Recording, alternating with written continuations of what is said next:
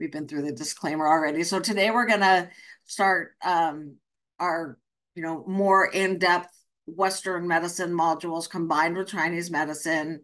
We're going to be talking about miscarriage, recurrent pregnancy loss, thrombophilia in pregnancy, ectopic pregnancy, adenomyosis, endometriosis, and PCOS today. So let's jump right in and start talking about miscarriage, which is probably as um, you know, fertility, gynecologic, women's health practitioners, the thing that you're going to come across with the greatest frequency.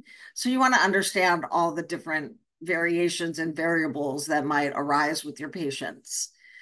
Uh, a, a, miscarriage is defined as the spontaneous loss of a fetus before the 20th week of pregnancy, and after the 20th week, it's referred to as a stillbirth.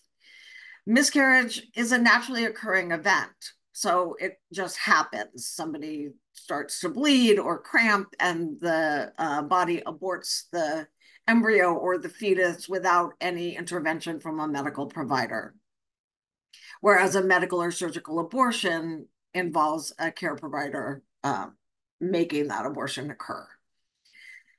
Uh, sometimes a miscarriage will be referred to as a spontaneous abortion, and other terms that you might hear would include a complete abortion. So that means that the person has had a miscarriage and it has been confirmed that all the products or the tissues of conception have left the body. It's exceedingly common that incomplete abortions occur. And an incomplete abortion, where only some of the products of conception leave the body, can result in long term fertility issues because that tissue from that incomplete abortion functions um, as a, a, almost like an a uterine IUD. It prevents implant can prevent implantation. It can prevent um, the you know spreading out of a placenta or it can also create inflammation in the uterus. An inevitable abortion uh, are symptoms that simply can't be stopped. A miscarriage is going to take place. There's nothing that we can do about it. An infected or a septic abortion, which unfortunately in the US we're becoming far too um, familiar with this issue due to some of the wild laws going on in some of our states here. That's when the lining of the womb or the uterus and any of the remaining products of conception become infected and can lead to sepsis in the mother, which, if left untreated, is fatal.